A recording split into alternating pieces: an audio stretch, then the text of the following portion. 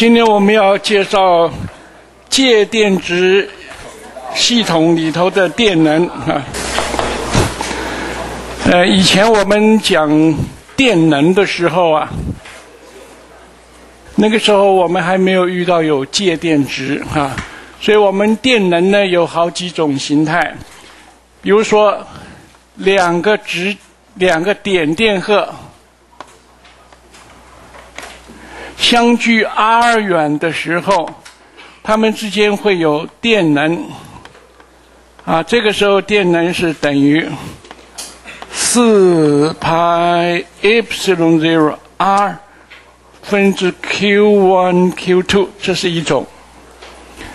啊，那么另外就是我们谈到说，如果这一点它的电位是 v 的话呢？我们从无穷无限远的地方把一个电量 Q 移到这个地方来，我们所做的功就是这个电荷在这里的电能。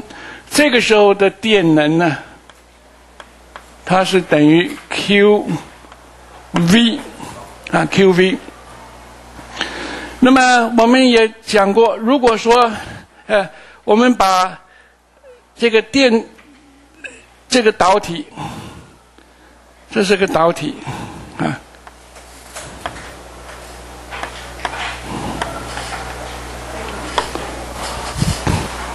本来没有电荷，我们现在把 Q 从无限远的地方啊，一次一次的移一个 dQ 过来，不断的移，让这个地方的 Q 啊，Q 从零增加到大 Q，这个时候这个系统的电能呢？我们也讲过，它是等于二分之一 QV，哈。那么还有就是像电容器，电容器的电啊电能，它有这三种形态啊，二 C 分之 Q 平方啊，也等于二分之一。Cv 平方也等于二分之一 Qv。那么，如果是在真空里面有电场的话，那么这个时候的电能呢，我们用的是这个式子：二分之一 epsilon zero E square d tau 啊。即整个空间，这个是呃在真空里面。啊，那现在我们要问：如果说电容器里面它有介电值，啊，它的充填的不是空气，是介某一种介电值，它的能量是多少？如果这个不是在真空里面，而是这个范围啊是。有介电值存在的，那么电能储藏在电场里面，它这个形态又是什么？哈，好，我们呃，我们知道这种啊，这个状况呢，你只要把以前里面哈，以前在真空的时候，凡是 epsilon zero 的 zero 的地方呢。你现在就把它变成 epsilon zero epsilon r 就可以了，或者是你把这个就变成 epsilon 就可以了哈。其实这个也一样啊，你把这个 epsilon zero 变成 epsilon 就可以了哈。不过我们现在从这里哎，我们来推导一下，嗯，好，我们来呃推导一下哈，比如说。呃，我们知道电能介电值内哈，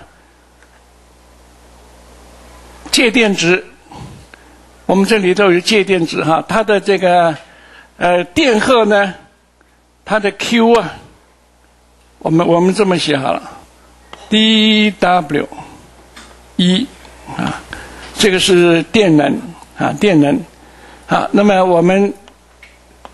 讲过哈，我们看这个东西，Qf，就说我们在以前也讲过这个哈，这个式子啊，比如说你这个是一个导体啊，导体。当你这个上面啊有 QF，就说 Q 我们一个一个啊从无穷远的地方把它移过来。当上面有 QF 的电量的时候，它的电位如果是 V 的话呢，啊 V 的话，那么我们先写这个，它的能量就是这个东西，能量就是这个哈。你一次一次的把 dQf。当然是 free charge 才能够移动哈，移过来是这样子的。好，那么当你已经有了呃，这个上面已经是 QF 的分布了，电电 位已经是 V 了，你再把 QF 拿过来的时候啊，那么我们知道这一次你 所 加入的这个电荷啊。dQf 改变是这么多啊，改变是这么多。好，那现在我们呃，这个是我们以前哈以前讲的，对不对？以前以前讲这个导体的时候，好，现在我们讲介电值啊，我们讲介电值，嗯，介电值就是说这个地方是介电值啊。整个是介电值。那我现在把这个 QF 啊，每次都拿一个 dQf 过来啊，就把它增加在哎这个位置啊。比如说这个这个体积是一个 V 啊，体积 有一定的体积好了哈，一定的体积好了哈。好，我把 dQ 放到这个地方来，这个地方。或者我们就假定一个点好了，电位是 V，我把 dQ 移过来，dQ 从无限远的地方移过来，啊，这个时候啊，它的这个 dWe 啊，我们就可以用这个式子，啊，就就可以不是这个这个起初没有 V 哈，就说我们一次一次的把这个移过来，移移过来，啊，等到这个地方 build 已经建立了一个电力。电位 V 的时候，我们再把它移过来哈，再把 dQf 移过来，啊，移过来。因为如果说你移的总电量是 QF 的话呢，它的电能就是这个。现在只是一个点了哈，一个点了。好，你当这个上面是 V 哈，你继续的把 dQf 拿过来，那么它又要做功。做一个公式这么大的，好，那现在我们呃就来把这个我们写一下，dQf 我们可以把它当做 ρf 乘上 d 套啊，ρf 乘 d 套啊。假如这个地方慢慢慢慢的，它就呃体积就增加了，对不对？啊，它的体积是 d 套。低套，然后我们低套很小很小啊，啊，这个 D 就代表它很小很小啊。你把 dQf 啊再移过来哈，那么它这个电电量就是 ρf d 套啊。那么它的总电量啊，总电能就是这个东西。那现在我们呃就由电。位移的高斯定律啊电位移的高斯定律。Divergent 等于什么？Rof 啊 rof 好。那么从这里我们就可以把这个 嗯 rof 带进来哈。带到这个式子里头来呢呃我们就得 dwe 要等于二分之一 v 乘上 divergent d 啊乘上 rho f 啊，不是 rho f 已经变这个乘上 d 套啊 d 套，OK。好，所以我们如果说你这个时候啊，啊不断的把这个电荷啊移进来，而这个体积当然不断的增加哈，它就等于这个的积分呢，这个积分就是等于 divergent d 乘上 d 套啊，divergent d 乘 d 套。好，那么，呃，这是积整个的一个体积啊，就是说我们这个里头啊，你把 dq f 不断的加到这个体积来啊，电能就变成这个东西。那现在我们，呃，来看一个向量恒等式，divergent divergent 哈，v 乘上 d。这个等于什么？我们可以先把它写成 gradient v dot d，啊，然后加上把 v 当作常数，哈，v 当作常数，那我们就可以得 v 乘上 divergent d。那这一项呢，就是这一项。所以它可以写成这两项的差，那我们就把这两项的差带进去。电能啊等于二分之一，二分之一哈，v 乘上二分之一哈，v 乘上这里有 v 嘛哈 v。呃，v 乘 divergent d，我们就写 divergent 的 d divergent v d 乘上 d 套，然后再减掉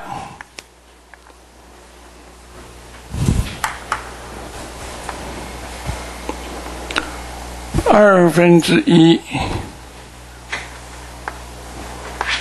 gradient v dot d。 乘 d 套，好，现在我们这个都是对套来积分呢。那这个，这是一个向量的 divergent 的体积分，我们可以用这个高高线 series 啊，把它变成面积分，就变成这个积分。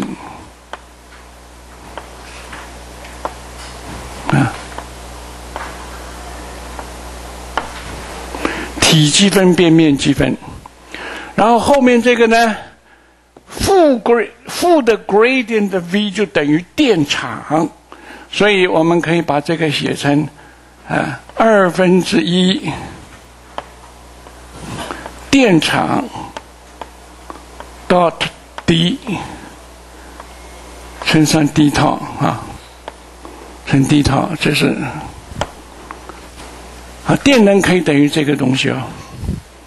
那现在我们假定，原来我们只是这么一个一个 surface 啊，closed surface 里面的呃体积是 tau。如果说我们将啊，我们将这个啊面积啊，将体积无限的扩大好了。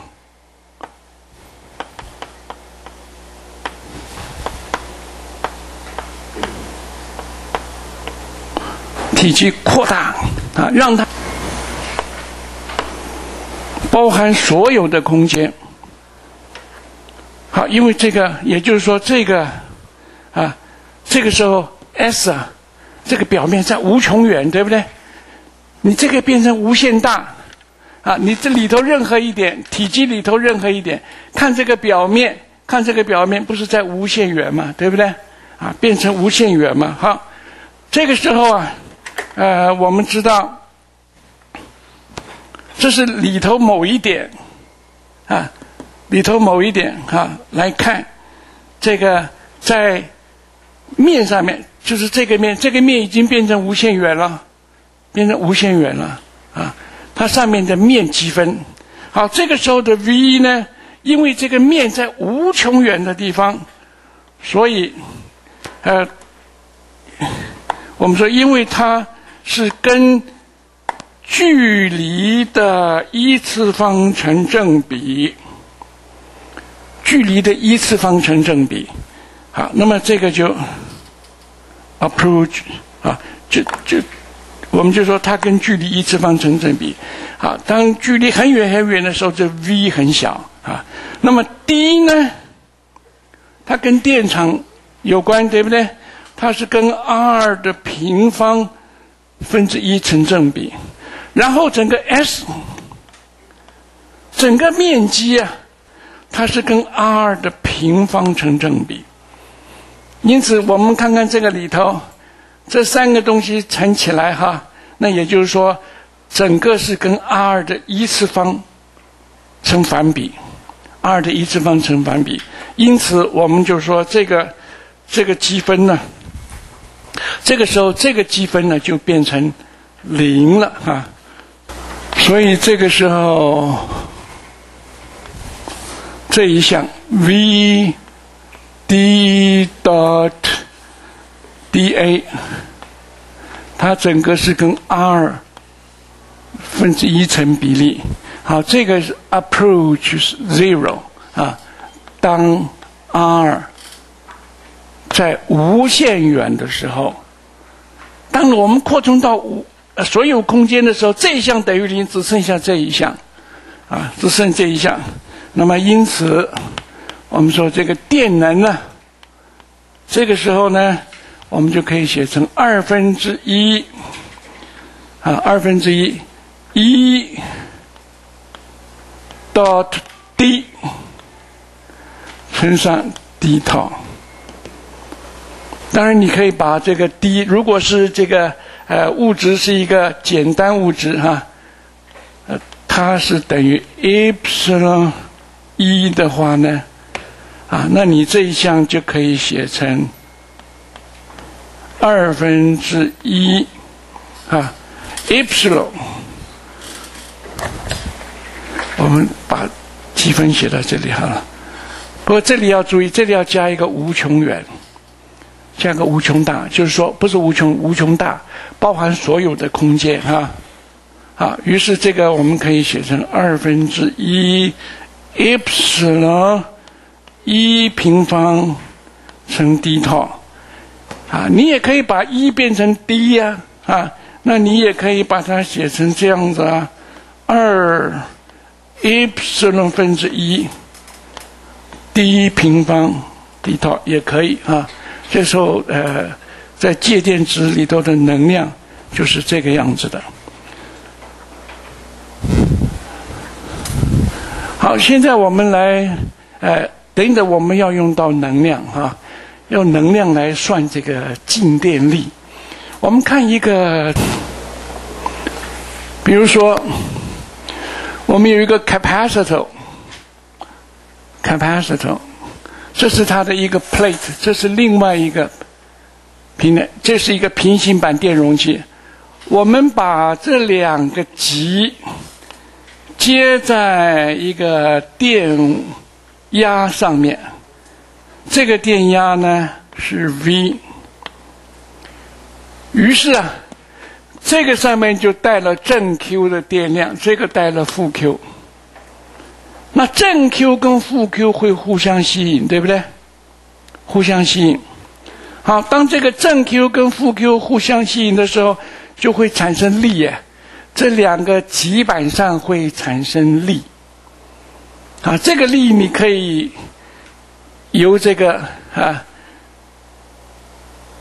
你可以用各种方法算了啊。其中有一种方法就是说，我们可以用虚功的方法来算啊，用虚功的方法啊。比如说，我们现在用这种虚功，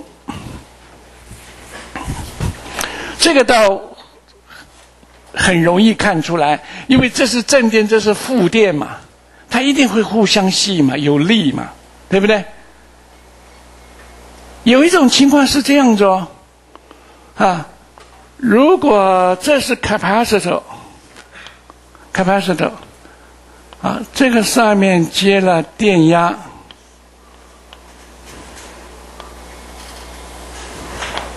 接了电压，这是真空。如果我在这里摆一块介电值，或者说里头本来有介电值，我把它抽出来，啊，抽出来，你会发现呢。你的手一放啊，这个介电值被它吸引进去，就说有力作用在这个介电值层上面。这个力你能不能看出来是怎么来的？像这个我可以知道由正负电相吸引呢。这个怎么会有力被吸进去啊？为什么有力被有力把它吸进去啊？为什么不是退出来啊？啊，好，那现在我们从虚功的原理来看啊，虚功，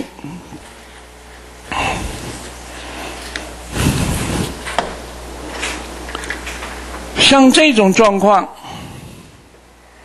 就说它接在电位差上面啊，V 上面，这里是正 Q，这里是负负 Q，就在这一刹那，它有一个力啊啊。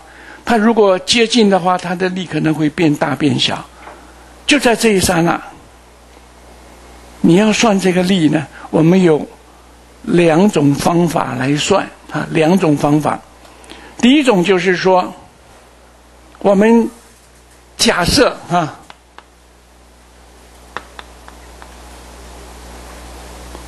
假设 Q。维持不变，Q 怎么会维持不变呢？当你接在这个上面的时候，你越接近了，越接近这个电场越大，哎，电场越大，它吸引力越大，Q 会增加，哎，啊，你如果维持不变的话，就是说就在这一刹那，因为。极板上的电荷是 Q 跟负 Q，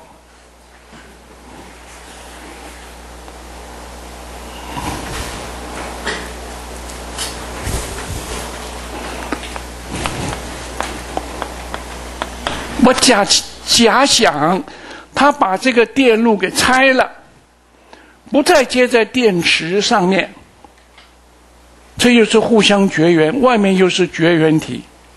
所以它的 Q 不变，对不对？但是这有正 Q，这有负 Q，还是会互相吸引呢。好，我们就假想啊，实际上它没有动哦。假想这个极板被静电力往这个方向拉过来，因为力是朝这个方向嘛。好，我们称这个力呢。叫做 F_Q，就是 Q 保持不变的时候的力。它一共做了一个 D_L 的一个位移啊，这个位移是虚位移，虚位移就是假想的，其实它没有动，其实它没有动。好，你假想它它过来了。好，那么于是啊，这个 Q_F 就会做功哈，work of Q_F_Q，它是等于什么力啊？我们写这样哈，因为它是呃小小的一个位移嘛哈，所以它就等于这个。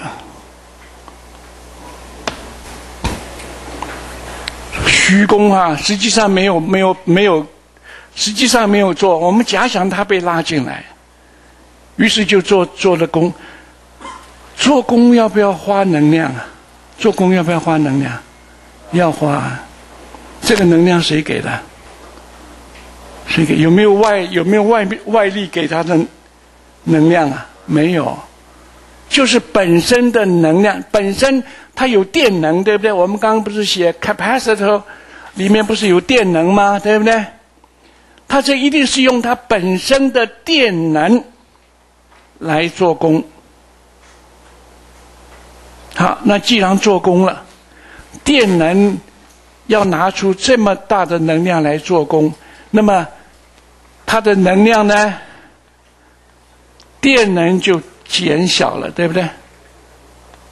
电能是不是变小了？就说我电能变了这么多，少了这么多，用来做功，啊，用来做功，好。那 dWe 又等于什么？这个是什么？这是存量，存量。你没学过？我们在第一章学向量的时候，呀，这个。第二行后面那一项的因次啊。哪哪一项？这个。这个这个不是这个体积啊，体积里头的都可以呀，没有说全部在无穷远啊。OK，你现在这一点，看这个地方的电场，这个地方的电位仪有没有在无穷远？没有啊，这个地方是无穷远啊。但是第一项是面上面的量啊，你体积内的任何一点，看这一点，它一定在无穷远呐，对不对？是这个样子，啊。所以这个这这并这个并没有去无限远呢，听不懂，啊回去参悟参悟哈，嗯，因为这个是这个量，这个 v 跟这个 d 都是在 s 上面的，在面上面的量啊，面上面的量啊，你在任何一点。我刚刚不是说你这个面已经跑到无限远的地方去了吗？所以它这些地方距离它是不是无限远？是不是无限远？但是这个有没有距离它无限远？这个没有啊。体积里任何一个位置为什么要距离它无限远？啊，你这个教室边边在无限远，啊，你体积就就在这里，你跟你隔壁难道差无限远吗？有差无限远吗？没有嘛。好，现在我们再看这个。好，我们以前讲过，讲这个 gradient 的时候啊，我们不是讲过 dF 等于什么东西啊？dF 等于什么？这个式子重要的不得了啊！你不能不能够一点印象都没有啊？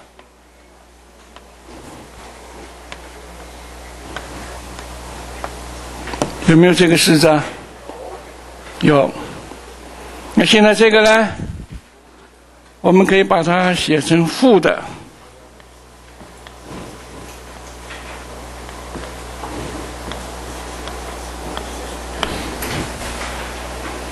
然后这个等于这个，啊，这个等于这个。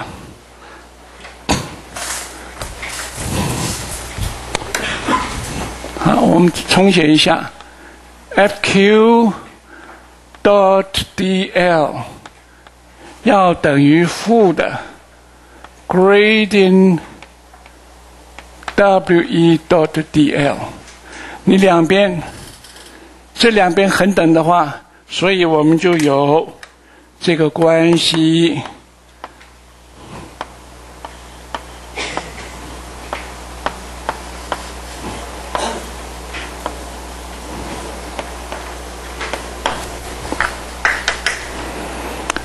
当两个极板的电量保持一定的时候，是那极板所受的力是等于里头的电能 gradient 的负值，OK？啊，gradient 的负值，这是一种状况。好，第二种状况呢，就是我们把电位视为常数啊，第二种。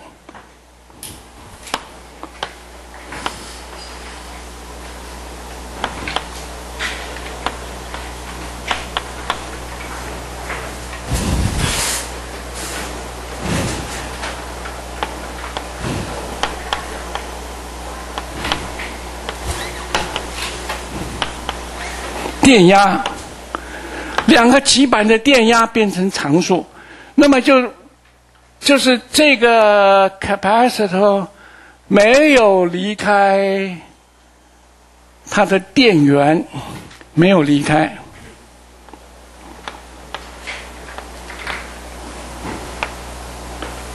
就是这样子哈。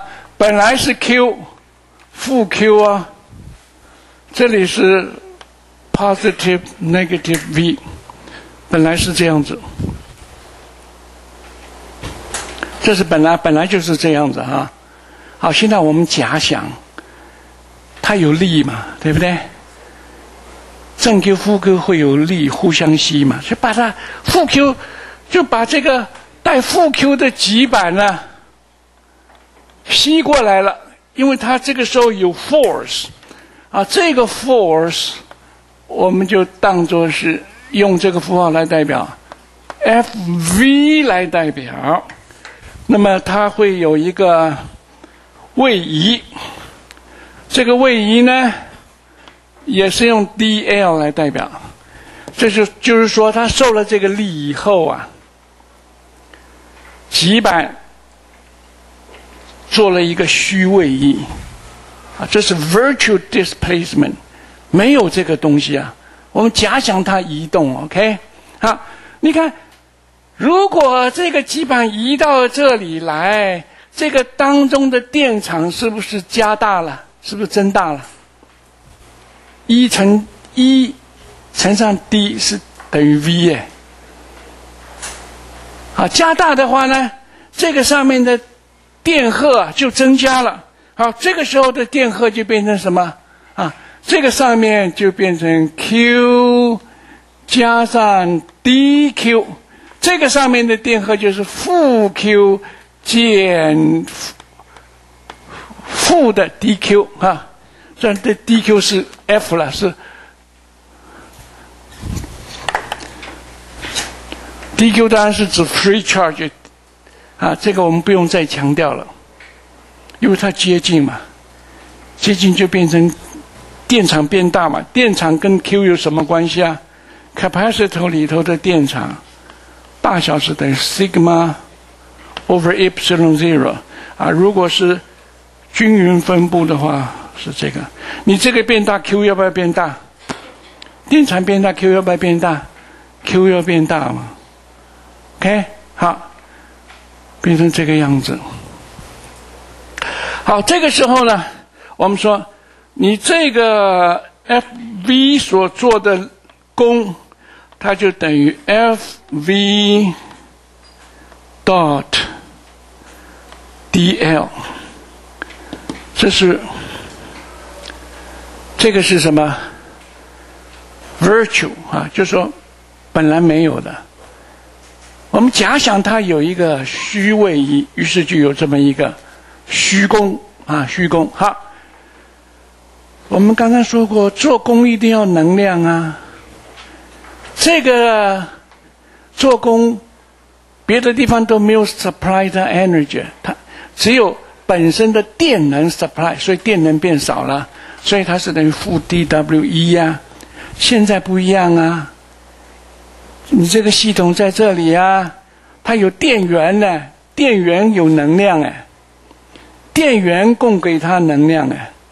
啊，电源，电动是有能量供应的，啊，电动是有能量供应。好，现在我们就来看一看，啊，呃，它供应的能量，dW 是能量，source，S 就是 source 哈，电源供给的能量，供给哪两种能量啊？一个就是做功的能量，做功的能量，好，等于这个 F dot dL，F_v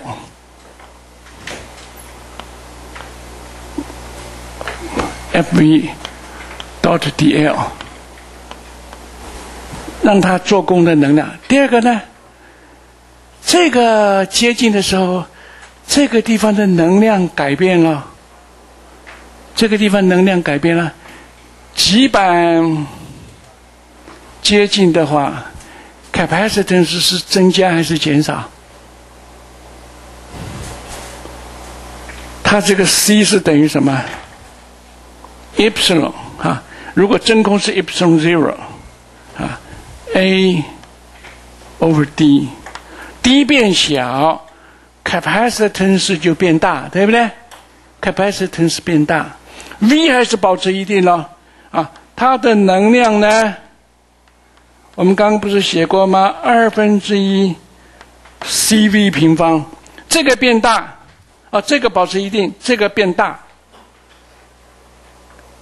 它能量从哪里来的？它能量为什么可以变大？别人给它能量嘛，对不对？谁给它能量啊？source 给它能量啊，所以它它增加它什么能量？电能，增加它的电能，增加它的电能。啊，这个电能呢，啊。这个时候的啊，这就是增加它的电能哈。好，那我们知道这个电能呢，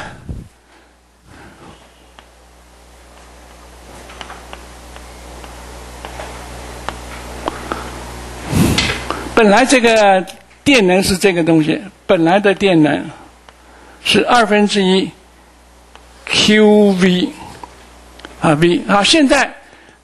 这个改变了，什么东西改变？Q 改变，电能也变呢。所以电能是等于二分之一 V 乘 dQ 啊，V 乘 dQ 啊。它本来这样子，变成这样子，能能能量增加这么多，增加这么多啊。那么 dWs 呢？它做什么功？它就是把这个地方本来是 Q 负 Q，现在少了一个负 Q 负 DQ，它就把负 DQ 啊从这个地方移到这边来，就把 DQ 移到这边来，所以这边就加一个 DQ。当你把电荷 DQ 从低电位移到高电位的时候，所做的功是等于多少？dQ 乘 V 呀，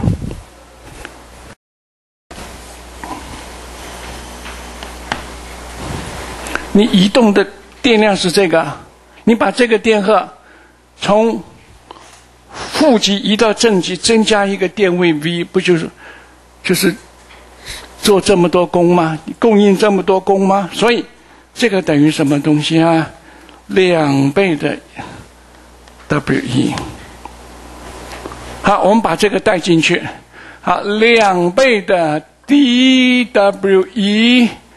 要等于 FV dot dL 再加上 dWe。好，两倍这个一倍，所以就变成 dWe 要等于 FV dot dL。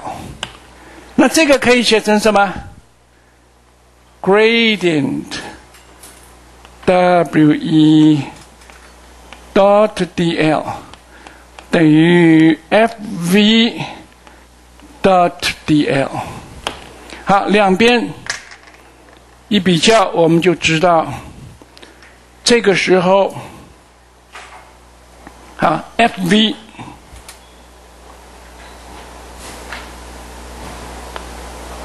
是等于正的 gradient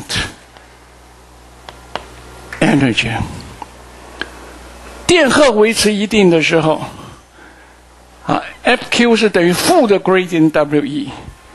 当电位维持一定的时候，FV 是等于正的 gradient WE。OK，啊，这两个要记住啊，这两个其实是一样的东西哦。它的 displacement 都是假想的，就是在这一刹那，两个都是指这一刹那。OK，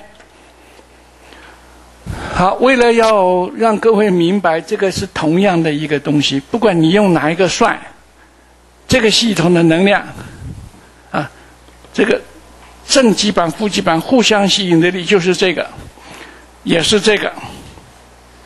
啊，那我们现在就把 capacitor 这种状况哈，它的呃能量我们来算一遍哈。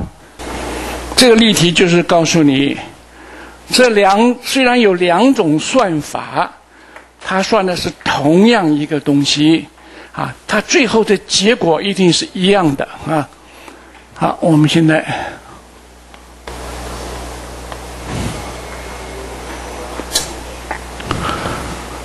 好，我们现在要求这个 A 是指啊这个极板的面积哈，D 是指两个极板之间的距离，然后 Epsilon 是说这个 capacitor 它是用空气绝缘，我们要求二极板间的相互作用力，嗯，那我们就想到这个时候。可以用电能来算，用电能来算。那我们就第一种方法，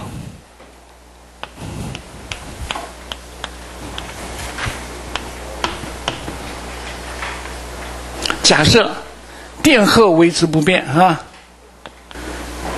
在这种状况之下，FQ，FQ 要等于负的。gradient W E，好，第一式子。那你要解 F Q，你要求 W E，对不对？求 W E，那 W E 是什么？我们把这个 capacitance 画出来，capacitance。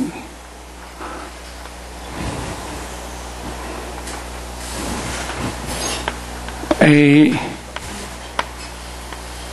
d q 负 q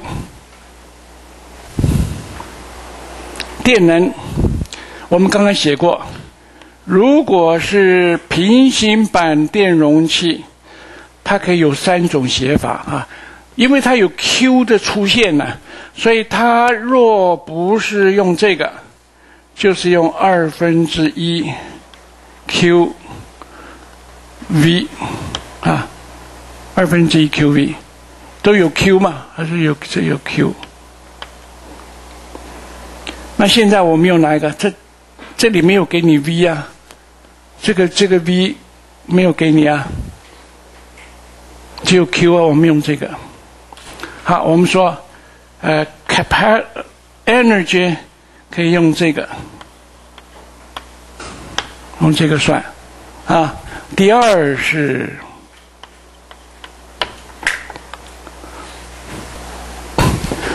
W 一等于这个，那等等要 take gradient，gradient 就是这个要对空间来微分的。现在的空间是这个样子的，我们用什么来表示空间呢？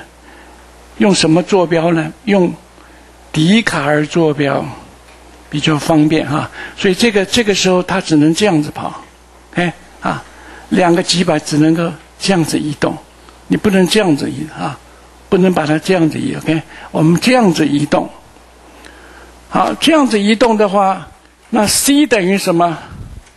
啊，c，因为它是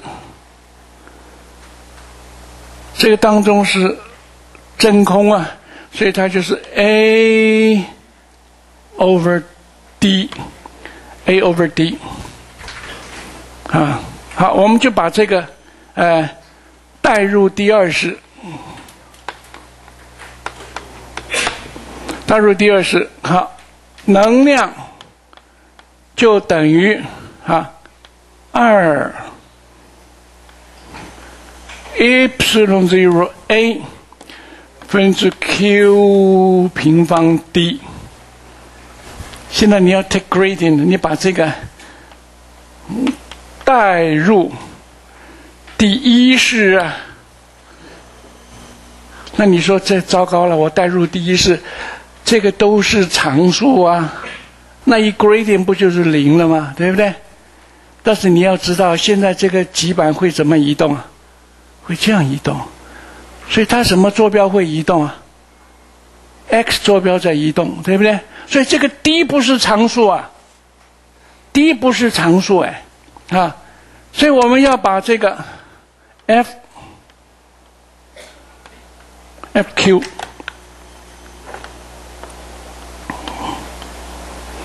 等于 gradient 一，我们知道这跟 x 有关系，所以它就是等于 x 方向 partial。其实你可以直接写，哎，d w e over d x。好，那我们就把这个带进来了，啊，我们就写 d 啊 d x。好，里头这个呢，我们把它写成这样：二 epsilon zero a，然后 q 平方，你把这个 d 变成 x。好，这里你注明 x 等于 d，啊，因为我们起初 x 就是 d 呀，它并没有动，是我们假想它会动啊。好，那这一微分等于什么？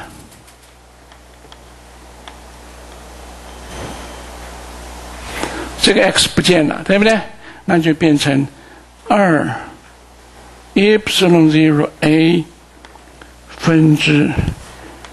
q 平方力就是这个力力在这个这这有个负的，我我忘掉了哈，这里有个负号，漏掉一个负号。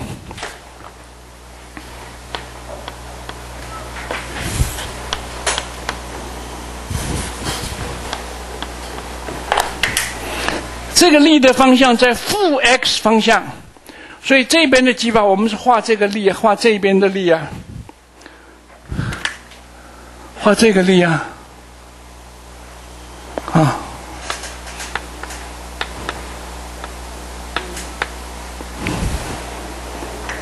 朝 x 的负方向，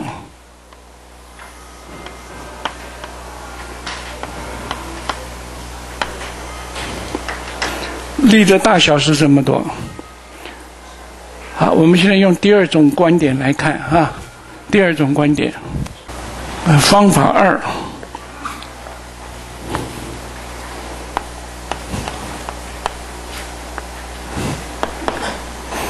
方法二，我们假设电压维持一定哈，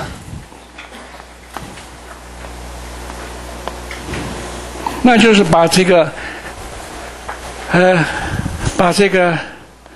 电动式接上去嘛，啊，接上去嘛，然后这个极板呢就移到这个位置来了啊，极板移到这个位置来了，好，这个是 d l，然后呢，这个上面 q 加 d q，这个上面是负 q 减 d q，好，这个时候的 f v 我们刚刚导过啊。它是等于正的 gradient W 一，好，one prime。那 W 一等于什么？W 一还是还是这个东西啊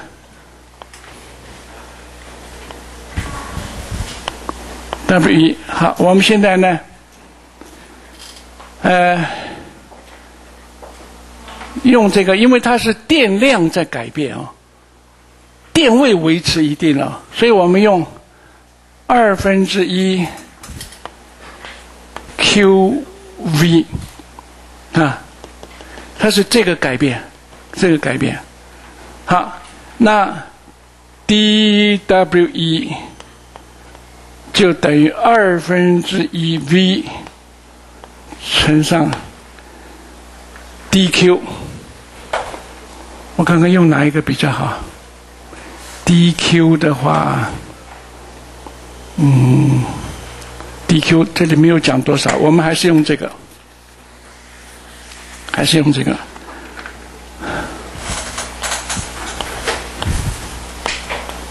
用这个。V 保持不变，哈 v 保持不变，C 是这个，C 呢它还是一样，epsilon zero a over d 啊，现在呢，啊，现在我们知道它改变了，哈，是什么改变呢？d 改变了，d 改变了，哈，所以我们把先把这个带入二 prime，那就 w 一要等于。二分之一 epsilon zero a over，我们把它写在一起好了。二二 d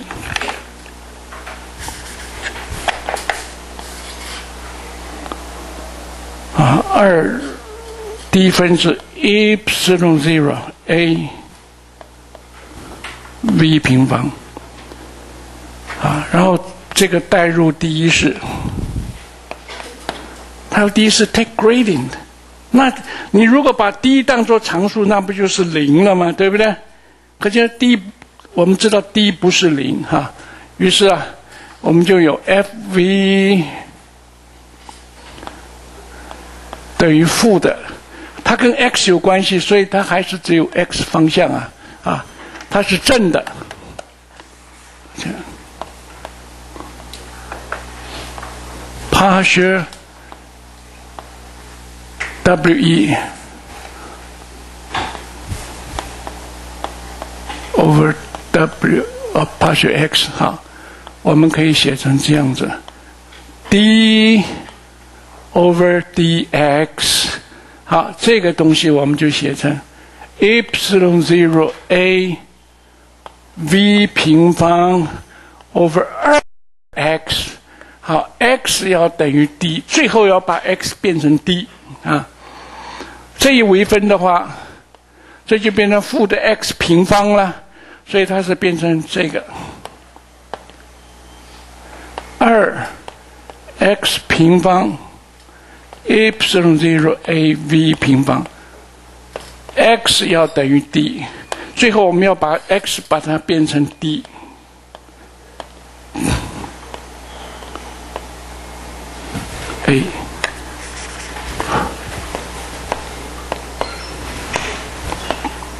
两倍的。哎，你看这个结果好像跟这个结果不一样啊，方向是一样，都是负 x 方向，一个是这个，一个是那个。但是我们说这两个值啊。同一个值，为什么？我们导出，导出来看看。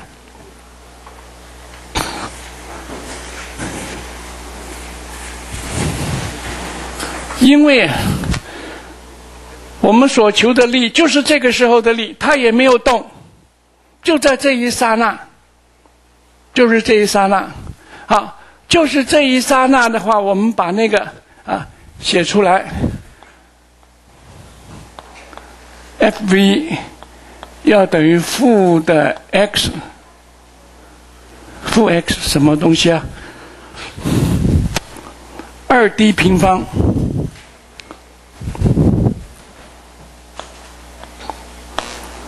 这个是什么？epsilon zero V over d 是什么？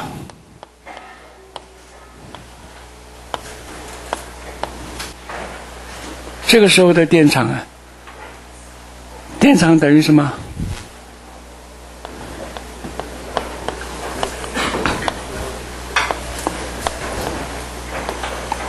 它是 sigma over epsilon zero，sigma 就是单位面积的电荷。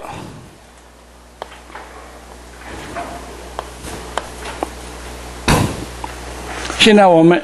这个约到一个，所以它就啊变成两倍的啊，然后 q 平方乘上负 x，这个跟这个一样不一样？这。两个一样不一样？一样的东西啊，啊，一样的东西。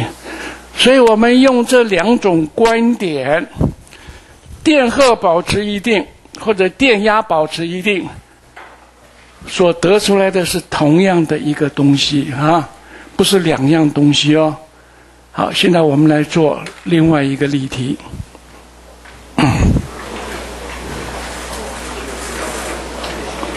好，这是一个，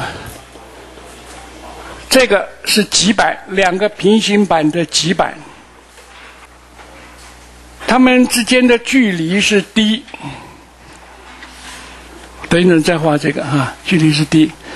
本来啊，啊这里加电位差是 v 啊，本来这个地方它有介电值，有介电值。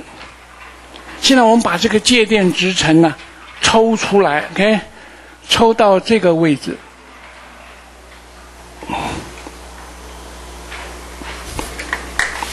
用别的颜色画好了。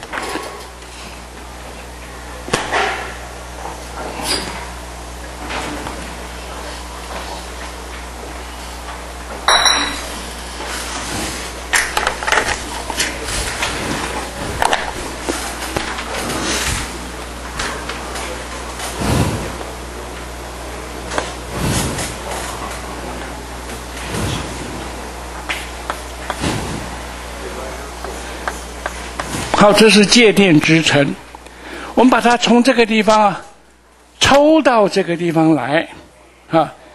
那么，capacitor 两个极板之间的距离呢是低远低远。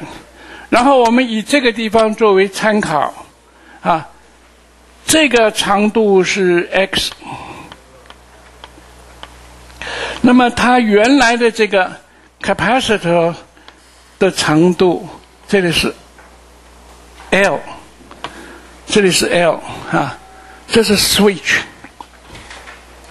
他现在要求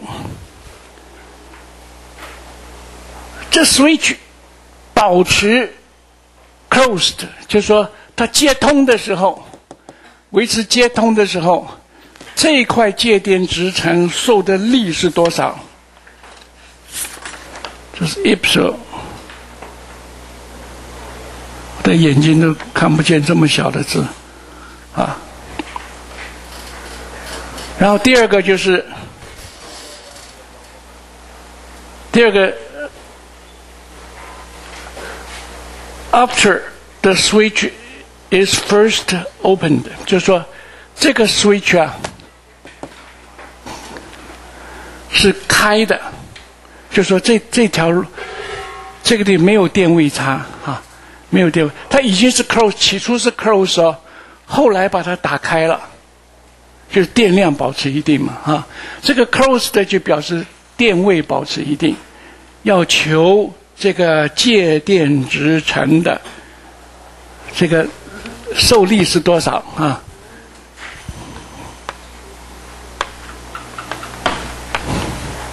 ？A。好，那么啊，电键哎接通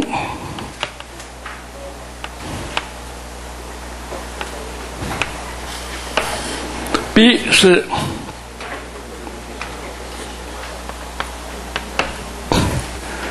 好电电键接通许久，把它开开的瞬间哈。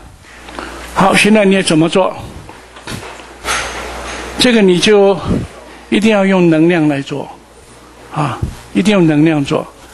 那我们先用这种假定电键接通的时候，好，S。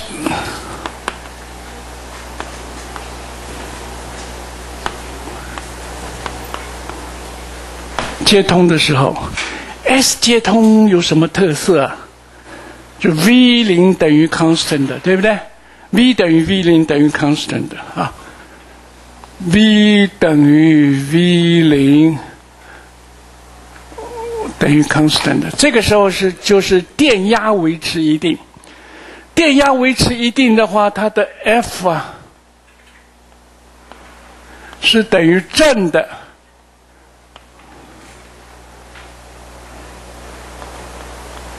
电能的 gradient 值哈，好，这是 equation one。然后呢，W 一等于什么呢？它是 capacitance 啊，啊，我们可以用二分之一 CV 零平方来做。那么这个时候的 C 又是什么呢？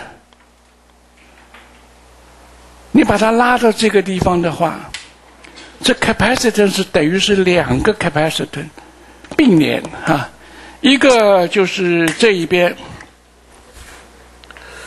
好，这个是 C one，这个是 C two，啊，C 等于 C one 加 C two，好，C one 等于什么？C one 是等于 epsilon zero，我们假定这个基板这里我们是没有画了哈。